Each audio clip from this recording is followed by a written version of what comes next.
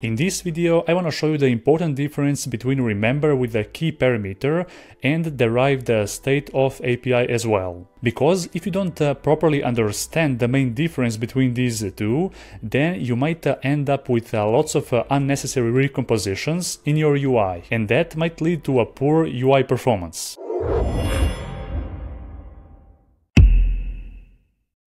So unlike the remember with the key that uh, re-executes uh, its uh, block whenever the key changes, a derived uh, state of, uh, on the other hand, creates a uh, computed state that only recalculates when one of the state values it depends on changes and otherwise returns the cached value without re-executing its block. The important part about derived state of is that cached word, right? But nonetheless, based on their definition, you might say that uh, they are the same. And you are partially correct, but not entirely. So in this example right here, we are using uh, that remember with a key, and the second example here is a derived state of. So uh, both of these uh, text fields uh, will change the state of this uh, is valid boolean value to uh, true if we add at least four characters, right? So as you can see here, when I type 1, 2, 3 and then 4, this one will be re-executed and uh, triggered to change the state. So the same goes with this remember with the key, right? So whenever we type 1, 2, 3 and then 4, this state will also change. So there is no difference between them at all, right? And in our code, uh, I'm here using the side effect, which basically triggers on each recomposition. So whenever a recomposition here occurs, we're gonna see a value that says derived recomposed. And that same applies with this remember uh, example as well. So remember recomposed. Now let's open up the logcat. And again, I'm gonna try here uh, typing some characters like one, two, three, four. As you can see, whenever we type the character, the log will be executed. The same goes with the derived state as well. So in this example, they are practically identical.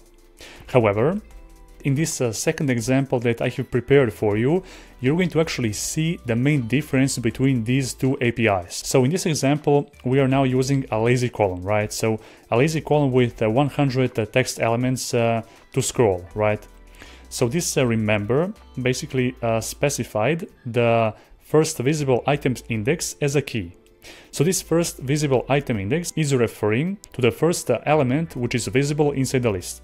And once we scroll through that list of 100 elements, that value will be changed uh, quite a lot, right? Multiple times per second, right? Depends on uh, how fast we scroll through our list. And down below we have also that uh, same example with the same lazy column. So we are also using uh, 100 uh, items in here and instead of using remember with a key, we're using derived state of. And in both of these examples, we are uh, increasing this recomposition count to track how many times our composable has recomposed. So here we have uh, two examples, right? So two lazy columns with uh, 100 uh, items in uh, each one of them. This example on the left uses remember with the key parameter, while this one uses derived state of. Now, as soon as we scroll through uh, this uh, first list, you can see that the recomposition count will increase drastically, right? So as you can see, uh, basically we are triggering it uh, multiple times. So whenever this uh, first uh, visible item index changes, and it will be changed uh, whenever we uh, scroll through our list multiple times, then this block will be re-executed. And then based on that value, we're gonna display here this up button. However, with this derived state of, recomposition count is only 2 in this case. As you can see, we can scroll as many times we need and the recomposition will not increase.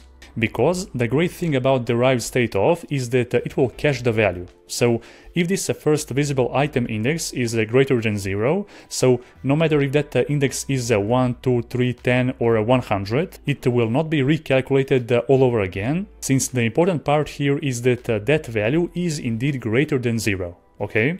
And only after we go all the way back, only then uh, that recomposition will increase by one, right? So in that case, uh, this uh, first visible item index uh, is no longer greater than zero, in which case it recomposed once again.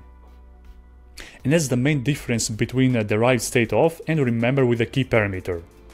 So this is an example where the derived state of uh, shines over uh, remember with a key parameter. Also, if you try to use um, these kind of uh, values that are uh, changing uh, quite drastically uh, in the recomposition and you use this value in the remember with a key parameter, uh, Compose compiler will inform you that uh, you should basically use derived state of instead. Uh, this was not available in the previous Compose versions, however, they have now included this new uh, frequently changing value annotation. And if you're building your own uh, kind of library and you have some kind of a value that also changes drastically uh, in your UI, then you should also annotate that uh, uh, variable with this uh, frequently changing value, because this annotation will inform our Kotlin compiler, and we are going to receive here uh, that uh, kind of a compile time warning as well. In which case, of course, we can modify this whole calculation and use derived state of instead.